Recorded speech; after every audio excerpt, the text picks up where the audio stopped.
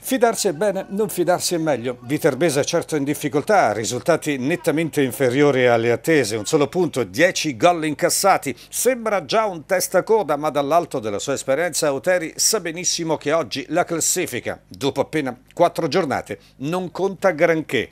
Ma neanche la guardo la classifica e quindi cioè, proprio adesso mi viene da sorridere perché veramente non conta assolutamente nulla, però in un ambiente come questo, dove, quando poi si viene da una retrocessione, cominciare bene è importante per l'ambiente perché può, può, raggruppare i tifosi che hanno soltanto questa passione per la maglia e noi dobbiamo fare soltanto questo, quindi qualche piccolo vantaggio ci può essere, infatti voglio dire faccio anche un gentile invito, mi aspetto anche una buona partecipazione, noi non, non deluderemo nessuno.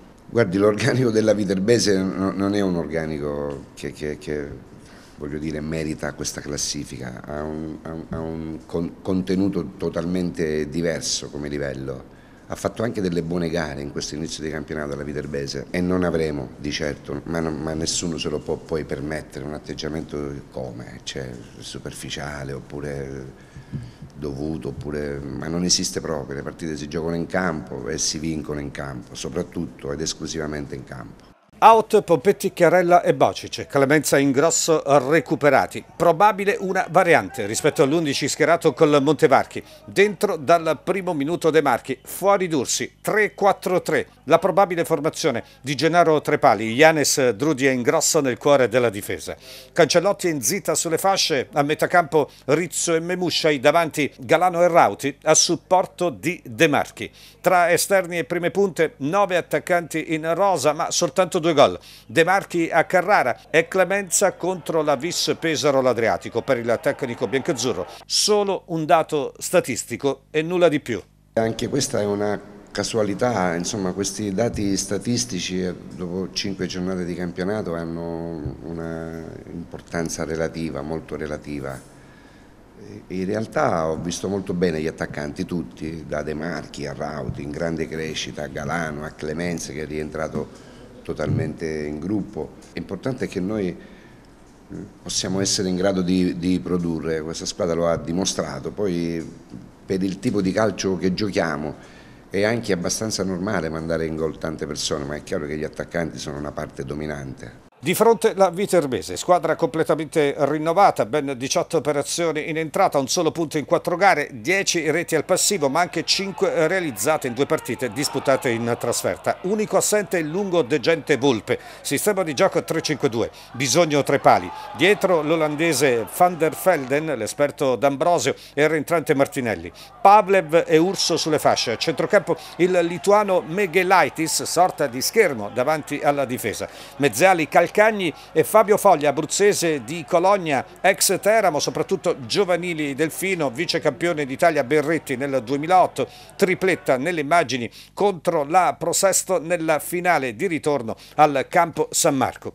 In attacco Volpicelli e il brasiliano Murilo, ex Livorno, punte di movimento. Se così fosse, Capanni partirebbe dalla panchina, così come Tassi, il tecnico Alessandro Dalcanto ogni gara fa storia a sé, ogni partita diversa da un'altra, noi oggi abbiamo bisogno di tentare di andare a fare un risultato positivo con tutte le forze che abbiamo, quindi siamo concentrati principalmente su questo. Ci sta che all'inizio, dove venivamo da un ritiro fatto per bene, da mm, prima di Coppa Italia vinta, la rimonta di Fermo, ci abbia dato una sensazione di mm, no di, di, presunzione, però comunque di grande consapevolezza in noi stessi che rischia alle volte di sfociare in qualcosa di diverso. Oggi questo pericolo non c'è più, siamo in fondo alla classifica e siamo noi che dobbiamo tirarci fuori da questa situazione qua, quindi non credo che al di là del fatto di incontrare la prima in classifica ci sarebbe stato un problema nel, nell'approccio alla gara.